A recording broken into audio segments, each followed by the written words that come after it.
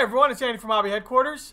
Uh, a couple months ago now, I did a video showing some uh, old nostalgia kits, and I got a lot of response out of that. In my uh, store, I buy model collections all the time, and sometimes we get some real old cool stuff, stuff I've never seen before. And what I thought I would do is, not all the time, but every once in a while when we get something different and unusual in, I would open up those kits and show them to you, kind of a harkening back to older times. And we've got two of them here. We've got a car and an airplane, an unusual scale one, a 119 scale airplane, and then a 12 scale car from a company called Imai, and this kit's from Aurora right here. So I thought I would just spend a few minutes, uh, pull into these right here. They're in really, really good shape. The boxes are meant, in fact, everything was sealed inside of this bit thing, but we're opening it for you anyway just to show you all the stuff that's inside. So if you like these type of videos, please go ahead and hit the thumbs up and the like button and tell me if you want to keep seeing these type of videos. Um, I, like I said, get these all the time, these different old kits, and it's kind of fun to look back on them. So, let's get started.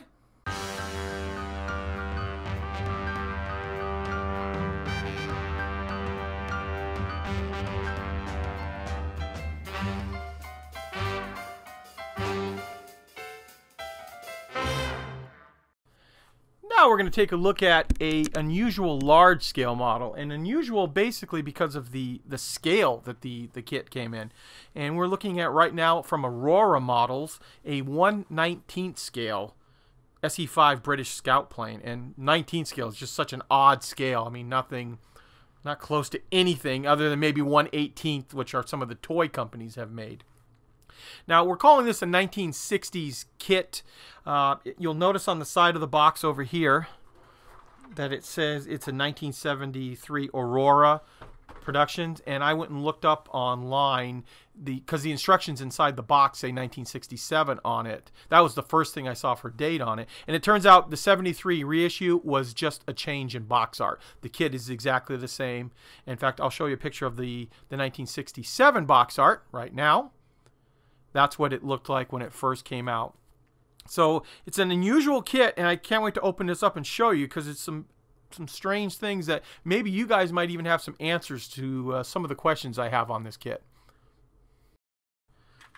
Okay, first thing we're going to take a look at is the fuselage.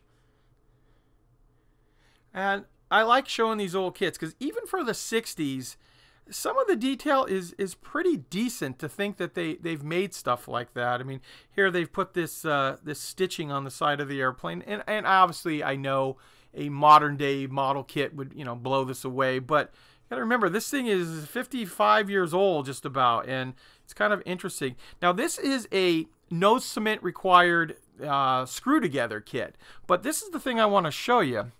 If you look at the uh, the rudder on this kit it is already molded to the side. Now, the only thing I can think of is because of the size of this airplane, was this kit like a, like in a very early U-line airplane, you know, the type that you'd, you'd put a little electric motor inside there or a gas motor or whatever, and then you'd hook it onto a string and then kind of turn it around in circles. Why else would you have the bent rudder on that?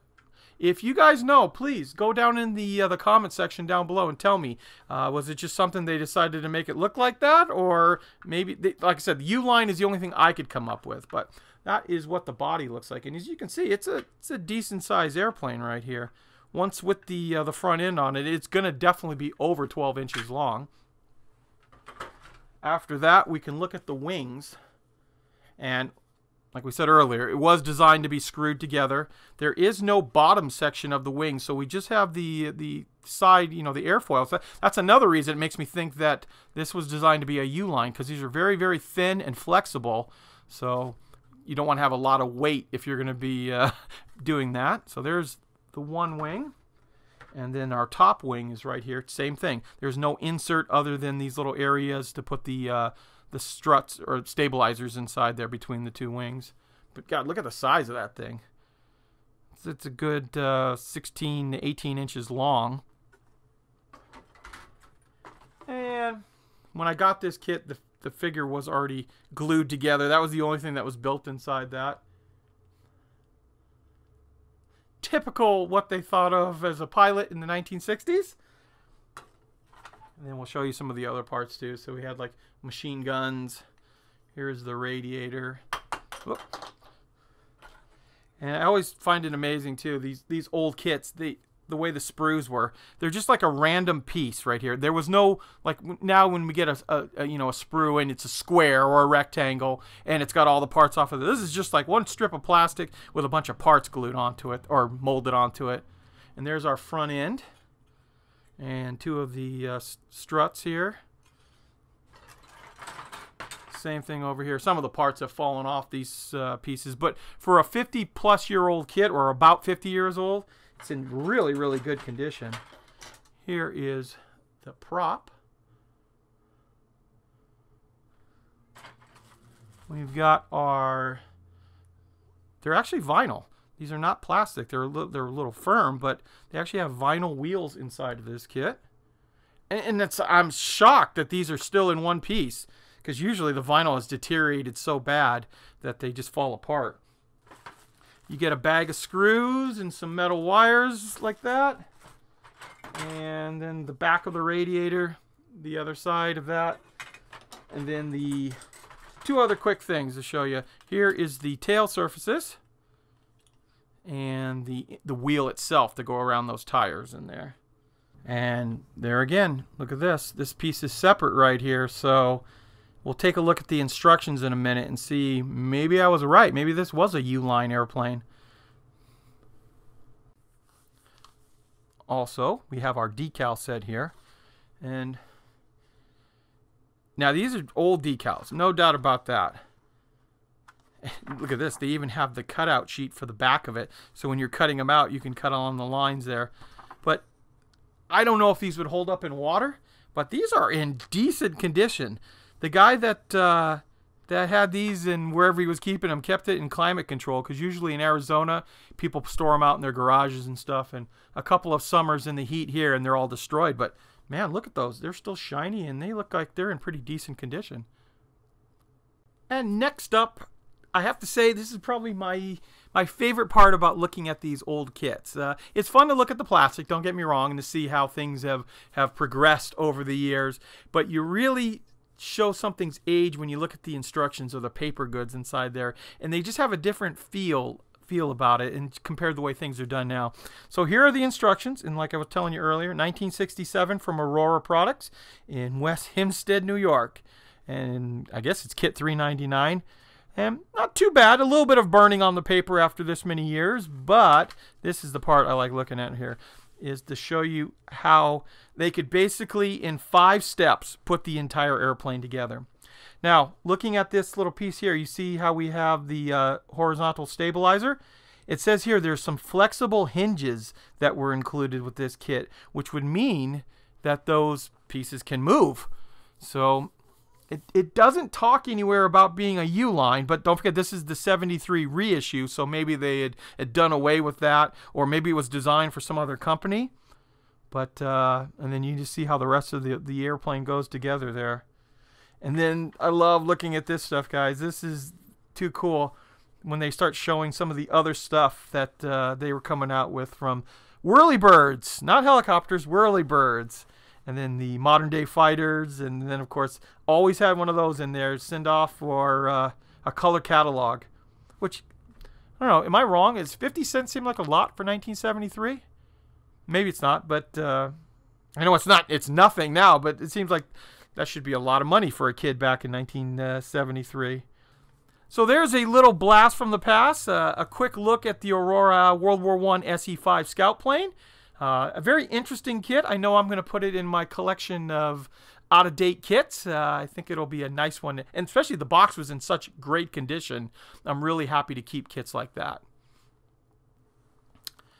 Now we're going to take a look at a large scale car. This is a 112 scale Excalibur SSK. And a little history on this one before we tear into it. Now this is done under the Imai box art here and I looked up on ScaleMates. And if you guys are not familiar with ScaleMates, I was actually talking to a customer that came in here and had not heard of ScaleMates. And ScaleMates.com is a wonderful resource for finding out if you have an old kit, if it's been reboxed, repurposed, or whatever on it there. And I found out on this one, the original Imai kit just as you see it in this box art here, this is the 1969 release of this kit. And starting in 1970 and then through 70 and then onward, 70, 71 area, the exact same kit was reissued but under the Bandai label. And then subsequently through the 70s and into the 80s, same Bandai kit, but they changed the box art on it. But this is the original 1969 release of this kit. And once again, I've got a really good box in great condition. It's a great display piece. So let's tear into this one and take a look at what it looks like in there. So this kit, I'm going to kind of do it in, in, in jumps here. So right off, it's a motorized kit. Throw all this to the side. So this is how this was boxed inside there. So you have your your drivetrain here, the wiring, your your gears, stuff like that, real spring. And then this is kind of cool too. These are just like a, a really tight spring that these were the the exhaust pipe covers that you see right here.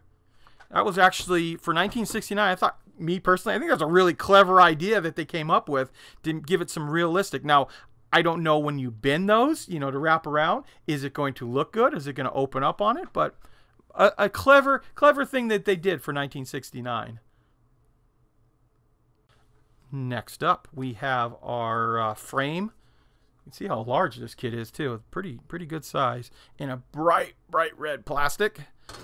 And then our body here, which has an insert into it that's someone snapped into place. But, oh, yeah, not glued. So it's just been snapped into place. Maybe even at the factory. And that will just up right on top of that, just like that.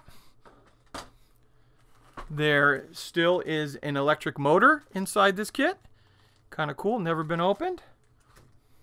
Now I'm going to show you this next part right here, and this is something that when you deal with old model kits, you're going to have all the time.